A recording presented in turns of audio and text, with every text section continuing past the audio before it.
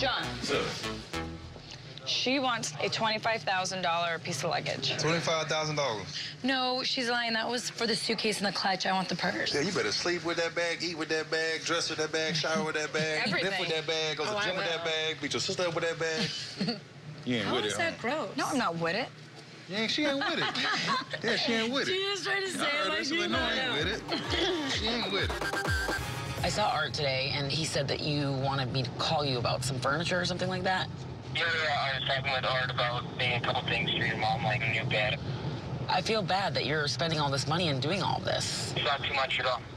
But you don't have to, TJ. Like, you uh, really. Yeah, I know I don't have to, but I want to. There's a difference. Oh, by the way, I'm with Trinity. She says hi. Hey, Teach. Okay, well, I will let you go. Thank you so much, TJ. Bye. Bye. That was nice of him. That wasn't nice. That was love, Natty. Really? TJ's a good dude, man. He loves you. He loves you to Oh, death. I love him too. I'm happy that he's trying to do some things to make an effort, you know? I'll take it for what it's worth. Take Yeah. what I can get. Oh, Oh my gosh, my, this feels like my cat. ooh, that's really nice, Nat. Yeah, and this will be good for my dad too when he gets home. This is so comfortable. Oh my gosh. Sit down on it for a minute. I'll be right back, guys. Try it out.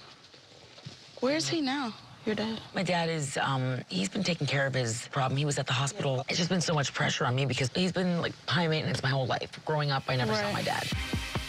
He was just gone a lot.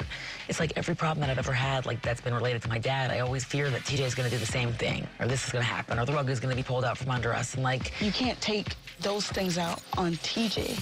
You know, you have all these worries and stresses about your dad and from your dad, and then you turn it around and take it out on TJ, or you fear these things are gonna happen to TJ or with TJ, and he's there for you, even though you guys aren't rocking that well right now. He's there for you at one of the most important times in your life, and you can't keep punishing him for things that he hasn't done because you think that's what's gonna happen. You know? yeah, no, you're right.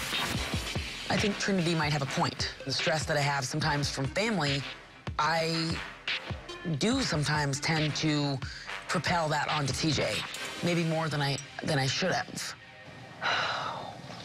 You're going through a lot, and you and him are going through a lot, but for him to still come through and help you through all of this and, and still want to be there, Yeah.